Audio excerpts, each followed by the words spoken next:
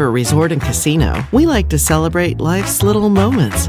Oh, and the big ones too, because around here, when you're completely in the moment, that's when the magic happens. Come in and find your moment at Win River Resort and Casino. Happy Tuesday morning to you. I'm Chief Meteorologist Mike Krueger from Weather in NorCal. So glad, glad you could join us on this Tuesday morning and decided to at least take Coffee with Krueger off on Labor Day, but still, of course, gave you your three updates uh, yesterday uh, morning, noon, and of course in the evening as well. How you doing on this uh, short work week we have in store for us? Boy, bottom line is this: we have got some changes in store for us from what we saw yesterday. And all I got to say is this if you enjoyed yesterday, you're not necessarily going to enjoy today or the rest of the week because we've got, you know, the unofficial end of summer occurred over this past weekend, right? That's when people consider the last vacation before summer really ends. They call it you know, the unofficial end of summer, but it's going to feel more like summer again going into this week. In fact, let's go ahead and take you right into Krueger's Quick Cast. As you know, uh, we have two different sections of this show. Number one, the Quick Cast, which for those of you that are just want to check in with the forecast and then go on with your day, you can very quickly watch the forecast and then be ready to go. Right. And then for those of you that like to get the whole story behind the forecast, you can do that. So let's get you right to the quick cast here for today. Temperatures out the door this morning. You know, not bad in Chico and Redding in the upper 50s, still low 60s though for Red Bluff and Corning at the current hour. We're seeing it about 40 degrees for Chester and Quincy, uh, 38, 38 in Alturas, and even cooler in Burney at about 37 degrees this morning and we're sitting upper 40s, low 50s out along the coast right now. There's a look at your visibility, and you can see it looks pretty good out there. There's a look at the Elk Country just north of Trinidad. We are starting off with some patchy fog out there. Uh, there you can see that's what it looks like in Elk Country. Looks like there's some of that patchy fog there, but not so much in the way of patchy fog as you head north into Crescent City. We're looking at the Crescent City Harbor District cam uh, and just a beautiful sunrise. But if you look off in the distance on that image there, you can see the fog bank uh, just off the coast there. So it wants to come onto the coast, but it's having a hard time doing that. So I'm sure many people will certainly take that. Taking you back again to the elk country cam. Let's see if we can see any uh, elk out there. Do we see any elk? I don't. That would be fun if we did. But uh, overall, it looks like we're going to be looking at a gorgeous day, including the coast. Let's get you out the door this morning, and we are expecting to see mainly sunny skies eventually. Again, some patchy fog on the coast. Otherwise, temperatures this morning, mid 60s for the valley, low to mid 50s for the coast and inland, excuse me, for uh, the uh, mountains. Uh, a little bit cooler up in Modoc County, should be in the upper 40s uh, for your 8 o'clock morning hour. And of course, I was talking about the heat that is returning. There is a heat advisory for the areas in orange for Wednesday through Friday for the Sacramento Valley and the surrounding foothills, for western Siskiyou County, for Thursday with highs up to 105 degrees. Now, some of you and this happens a lot, even during the, the, you know, the peak of summer. A lot of people roll their eyes at heat advisories, excessive heat warnings, the works. Here's what I want to just kind of point out a few things. Number one, here are the National Weather Service risk, heat risk guidelines. And a couple of things that we look at here is this. How unusual is this heat for this time of the year? Keep in mind the normal high for this time of the year in Redding is about 95, 96. So with this heat wave coming through, we're going to be at least 10 degrees above normal, if not higher than that. We also take a look at the duration of the heat, including both daytime and nighttime temperatures. Do we cool off at all at night? Uh, do we get to see a, a, bit of relief from the heat as we go into the overnight uh, lows? Also, if those temperatures pose an elevated risk of heat related impacts based on data from the CDC. Basically, what that's saying is for those that are that have health issues and can't deal with the heat stress as much as other people can, such as the elderly, for example, young children, infants, can also have a problem with this heat. And we can't forget about our fur pets, fur, furry uh, fur babies as well, right? We can't forget about our pets. They too can be impacted by this heat. I notice, I mean, even when it's only 85, 90 degrees, our dog has a hard time with the heat. I was up in Mount Shasta yesterday where the temperatures weren't nearly as warm. And we were out in the sun and she kept pulling me, pulling the, the uh, leash to get to a shaded area. So they know when they need to cool off as well, but you need to watch for them, make sure they got plenty of water the works, right? So again, these are the things, again, when we roll our eyes, we think, well, it's going to be hot. It's been hotter, and it certainly has, but we're reaching that time of the year. It's typically not this hot. Uh, and this is quite an unusual heat wave uh, for this time of the year, or let's just say not unusual, but not as common. All right, let's take a look at Futurecast and uh, taking a look at any chances for rain today. No, not even much in the way of fog out along the coast. You're looking at plenty of sunshine there and plenty of sunshine elsewhere. Let's take a look at those temperatures out there for today. About 100 degrees, give or take, for the valley. Mainly 80s, upper 80s for the higher elevations, let's say mid to upper 80s. But there are some spots that will be warmer in the low 90s, places like Weaverville, 94, 93 for Hayfork. And look at the coast. You're looking at temperatures around 70 degrees. So we look at our 7-8 outlook, and the peak of the heat wave will be around Wednesday, Thursday, Friday, right? That's when Redding will be at 105 to 106. For Red Bluff, 102 to 104, and for Chico, 102 to 103. But temperatures start to drop after that. It's still going to be a hot start to the weekend, but much like last weekend, we started off hot and temperatures gradually dropped. That's what we're seeing here. We're back down to the mid 90s on Sunday and low to mid 90s by Monday of next week. Let's take a look at your 7 day outlook for the coast. Around 70 through Thursday, mid to upper 60s for Friday through the weekend into early next week. By the way, it's not just the heat that we're watching, but also the potential for showers and thunderstorms. We're going to take a closer look at that potential and just what those chances are in our deeper dive forecast coming up in a little bit here. Taking a look at Siskiyou County, Modoc County, and the Eastern Mountains. Of course, there's that chance, especially on Friday, even the uh, Susanville, maybe even on Saturday. Temperatures peaking around Thursday, give or take, uh, you know, basically Wednesday, Thursday, Friday, and the temperatures start to drop again going into your weekend. All right, let's take a look at those fires out there. The Boise fire is now 72% contained as of last night. We're taking a look now at the Park fire at 98% containment. Now, some of you might be asking, well, what's the deal, right? What's going on with that other fire that we heard about? Well, let's take you to it. Uh, let's take a look at watch duty and the, the Centerville fire, as you can see here, kind of impacting quite the rural area. There were no um, evacuation wa- warnings or even orders. So we take a look at the Centerville fire. It's at 59 acres at 40% containment. Now, based off of the officials, they are saying that uh, actually no, it looks like now it is yes now it's saying it's 60% contained. Um, and all forward progress of this fire, by the way, has been stopped. So I would be I wouldn't be too terribly concerned about this fire.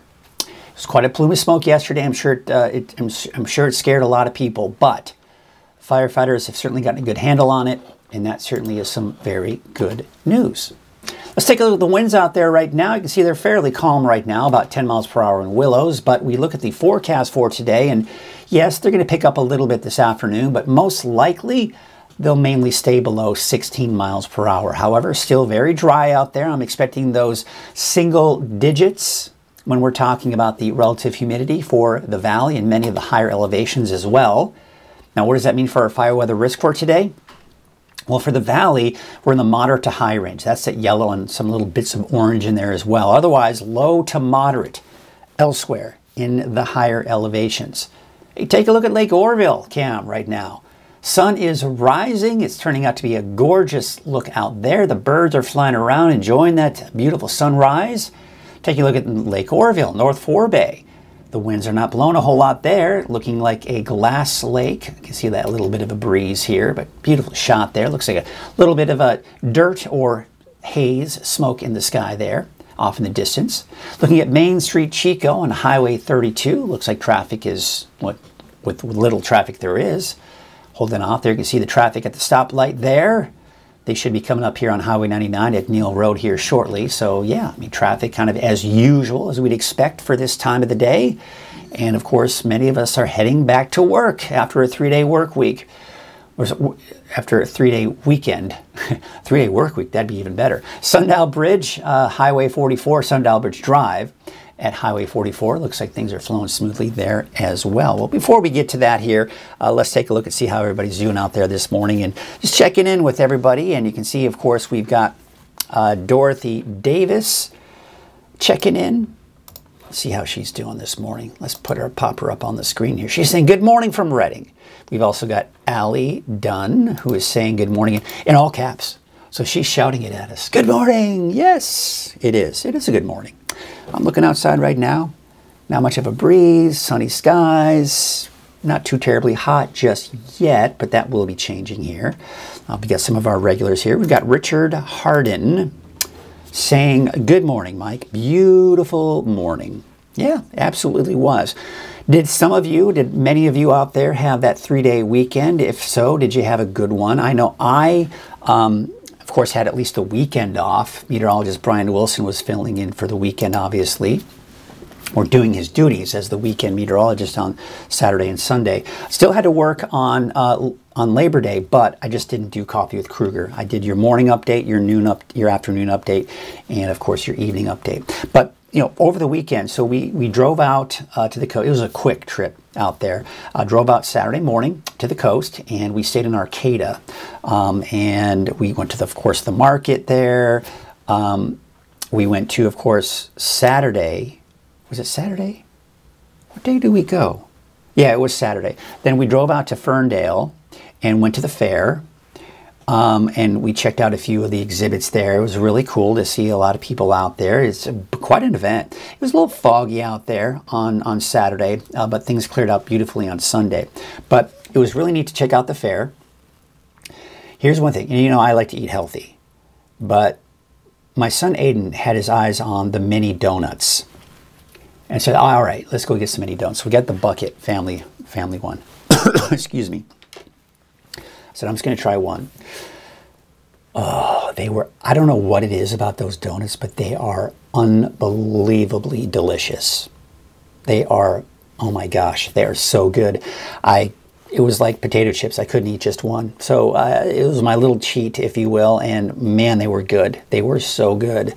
Uh, for any of you who've had those donuts, you probably know what I'm talking about. They put the just right amount of sugar on them, the cinnamon that was on them, and of course the dough itself. It wasn't just the, the sugar and cinnamon, but the dough. I don't know what it is they put in that dough, but man, holy cow, it's good. All right, I got to stop thinking about it because I'm going to want more. It's, it's like a drug. I tell you what, it's like a total drug. So addicting, so addicting. Um, but yeah, so that was fun. And then after the fair, we went and just kind of hung out in Ferndale. What a great, quaint little community out there. And we checked out a lot of the local shops. Um, we went to the historic uh, cemetery and checked that out. Uh, really cool, interesting history behind that as well. And then, of course, we, as I mentioned, we stayed in Arcata.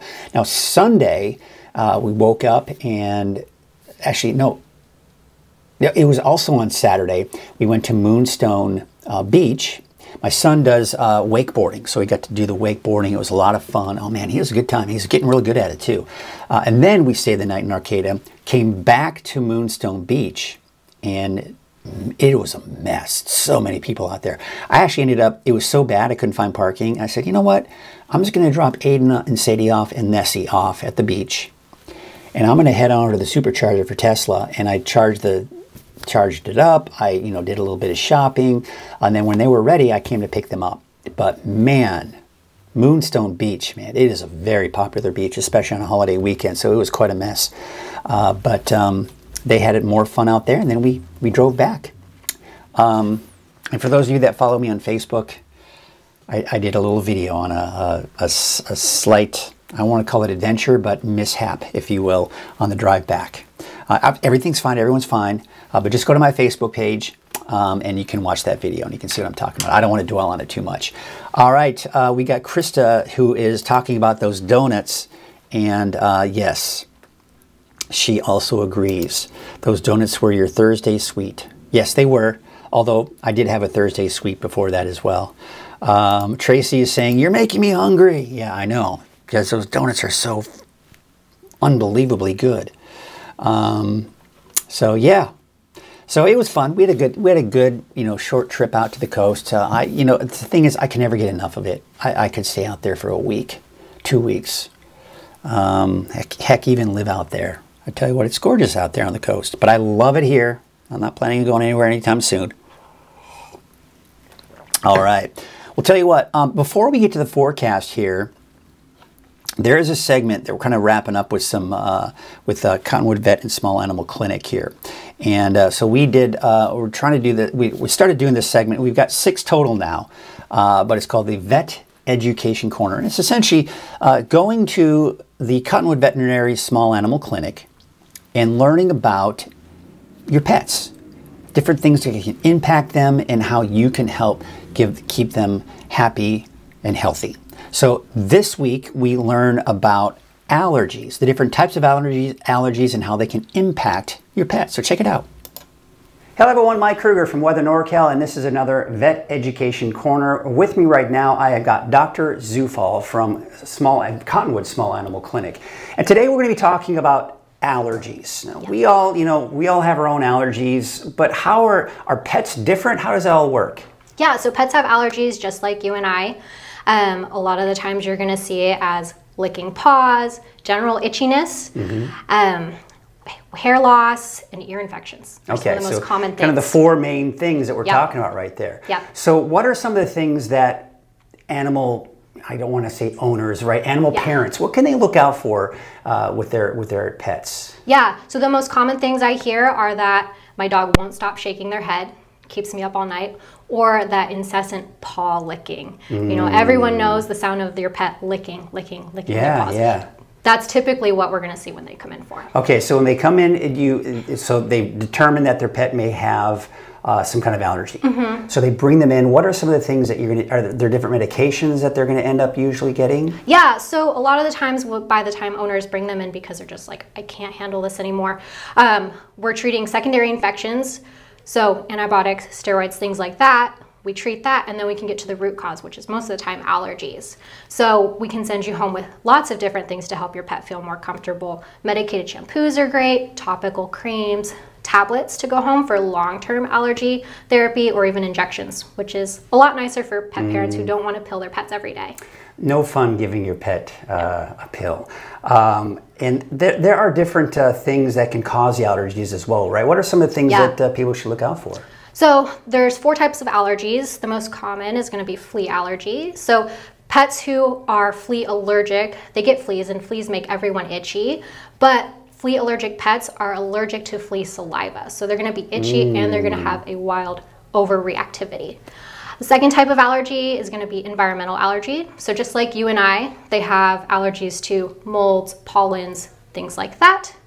Um, a third one is food allergy. Everyone loves a good food allergy. And then mm-hmm. third, contact allergy. So just like you and I, we touch poison oak, we get a rash. Same sort of things can happen in our pets. So they can get poison oak as well. Well, they can't get poison oak. That is one thing. They can't get it. Oh, that's good. But they can rub up against a plant, a bush, uh, or even ah. certain household products can cause allergies to their skin. All right. Anything else you can think of? No, it's pretty I think we got it all covered. Yeah, yeah. very straightforward. Well, thank you, uh, Dr. Zufall, for all that great advice about allergies. We'll see you next time. You know, I got to tell you, they really know their stuff over there, Cottonwood Vet and Small Animal Clinic. They are amazing. Anytime I've had an opportunity to speak with those uh, veterinarians out there, uh, they just they really know their stuff, and they love they love love love the animals. And I'm going to tell you, they run a tight ship over there. Uh, anytime I've been in there, uh, you got people in there, and you I can just I've, I've done the observations. Uh, they, they get people in and out, uh, but that doesn't mean they don't spend the time that they need with your pet. Uh, so, uh, you know, if, if, you're looking for a, a, veterinarian, check it out. And they're one of the few that actually have just basically a walk in.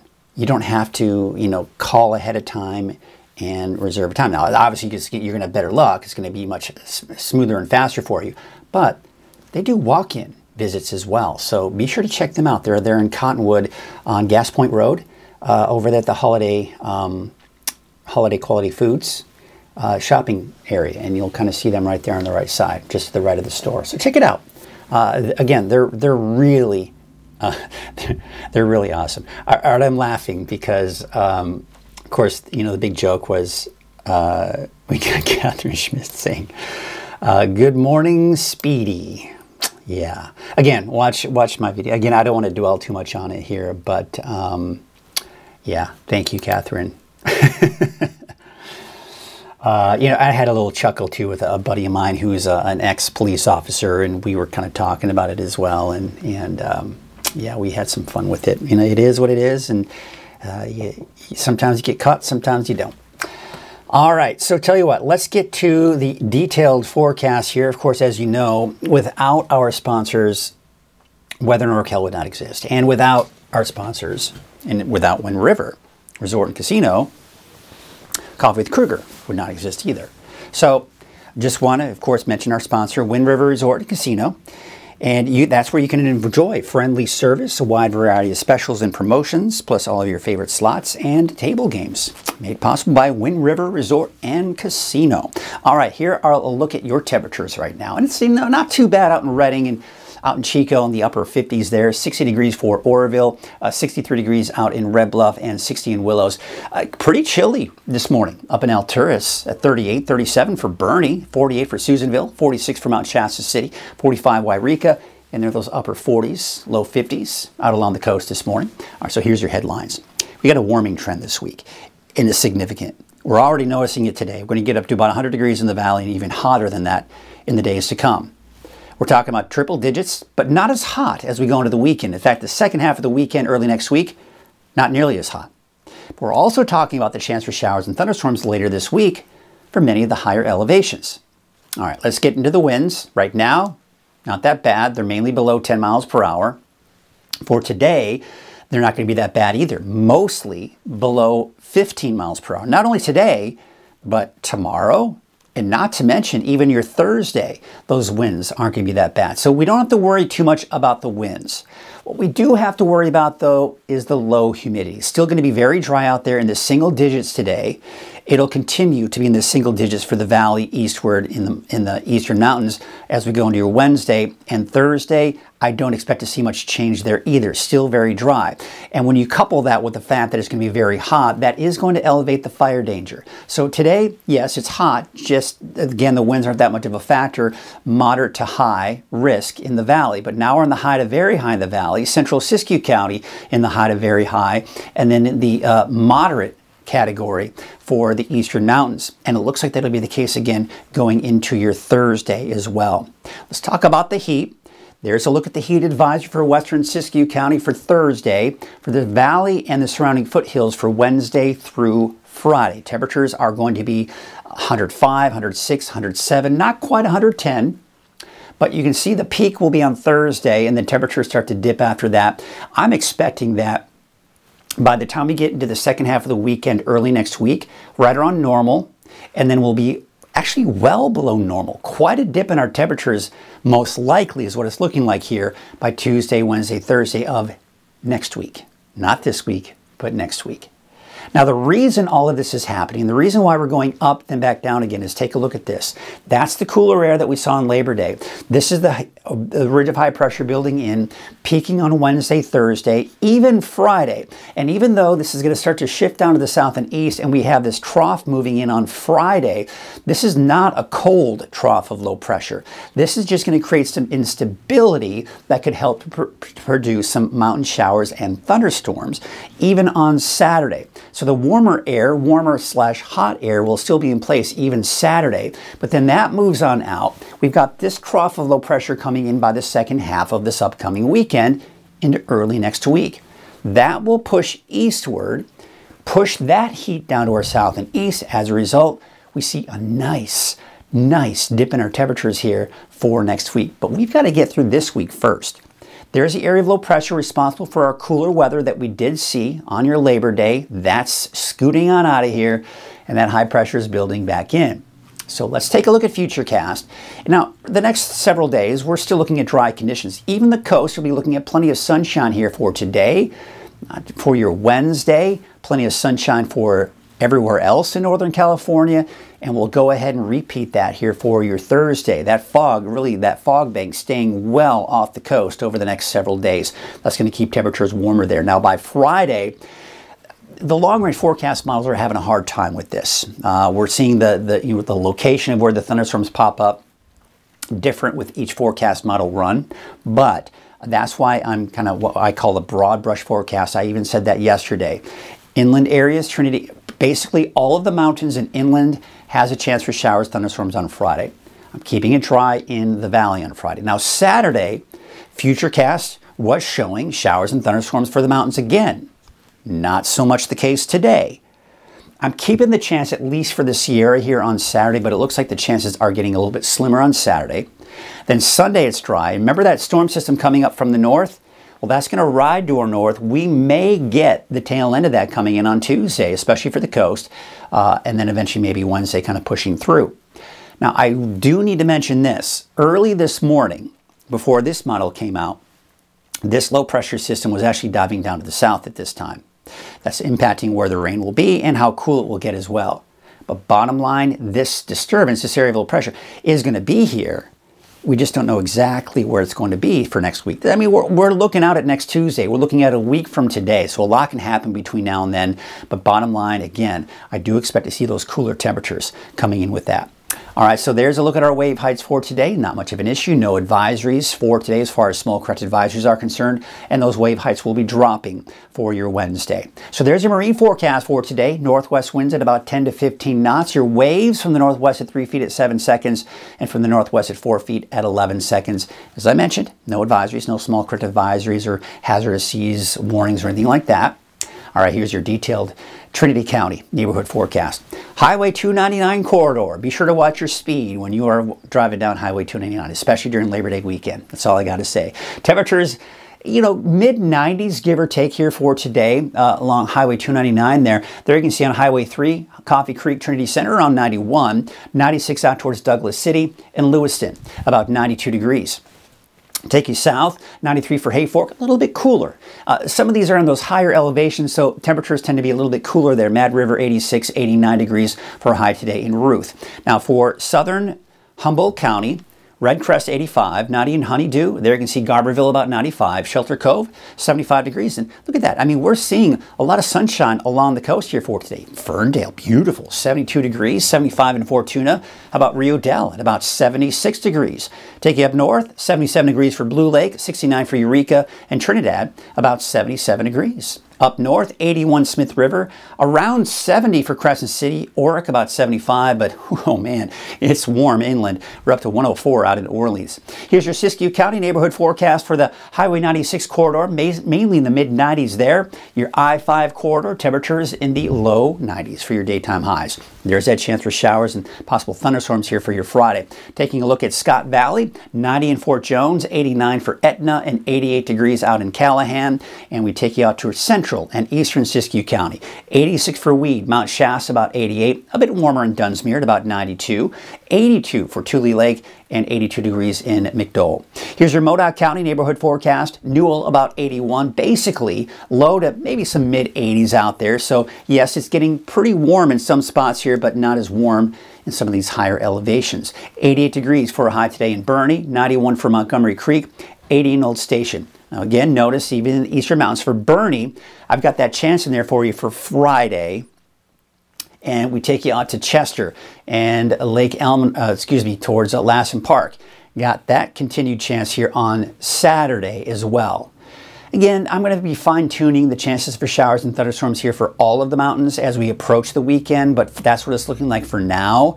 Uh, so again, Susanville, but Paradise, I don't have any showers or thunderstorms for you over the next seven days. We take a look at your valley neighborhood forecast to the south, and essentially about 100 degrees. That's kind of the baseline here. It's going to be give or take. Some areas upper 90s, other areas maybe just above 100 with 101 for the city of Shasta Lake and Redding, 100 Palo Cedro, but Lakehead about 96 and, and uh, Whiskeytown about 96 degrees as well. So there's a look at your 7-day outlook for Redding, and it's not Labor Day on Friday. Come on now. I guess I just didn't check that. Uh, uh, let's do this because we can do this. I hate it when I do that. No problem. Boom. and gone. There it is. Wouldn't it be cool if Labor Day was on Friday? Then you'd have another three day weekend. but that's not the case. Um, so, yeah, there you go, folks. Uh, let's take a look at that one more time.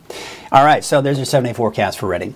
Uh, 106. So, basically, the peak of this heat wave is during the uh, heat advisory, right? Wednesday, Thursday, Friday. And then Saturday, we're back down to a cool 100.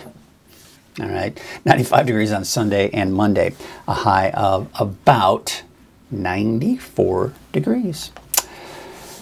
All right. Uh, oh, we've got good morning, Mike, from Chris at True Value Hardware. All right, which one? Um, Chris from True Value Hardware. Is that the one in Weaverville? And if so, are you the owner? That's kind of a cool. I love these. Uh, some of these um, these historic towns, like Weaverville, for example, and you still have uh, looks like that location of where the old hardware store is. But I believe that's when you're talking about here, uh, Chris. Let me know which one you're you're um, you're chiming in from. Is it Weaverville? Let's see. Where's the other True Value? Um, where have I seen True Value? I Palo Cedro. Yes, of course, I've seen the one in Palo Cedro too. All right, good. Good to know. All right, folks. So uh, if you're in the Palo Cedro area, you know where you need to go. Go to the True Value Hardware store and say hi to Chris. Tell him I said hi for you. Okay, uh, good morning. I have some errands to run in Weaverville today. That is coming in from Kimberly. Well, that is always fun, right? You know, errands sometimes aren't so fun, but sometimes it's also nice to have something to do, right? So go out, get in the car, pack things up, get ready to go and run some errands. Uh, and sometimes, especially if you live in these smaller communities like Weaverville, sometimes if you got to run some big errands, you may have to head out to Redding, for example, to do that. So uh, good luck and enjoy your time out, um, Kimberly. Uh, we've also got Sandra saying good morning, Mike, and enjoy your coffee. I appreciate that. Uh, Kimberly saying you're out there in Lewiston. Ooh, yeah, you definitely have a distance to go. If you have, I don't know if you can run all of your errands in Lewiston or if you have to go to Weaverville or if you have to go to Redding. I'm not sure, but uh, good luck. Enjoy your time out. And uh, be sure if you're heading out to Redding that you have water because it's going to be a lot hotter in, in Redding than it will be in Lewiston. That is for sure. All right, folks, that's going to do it for us today. So glad you could uh, tune in this morning.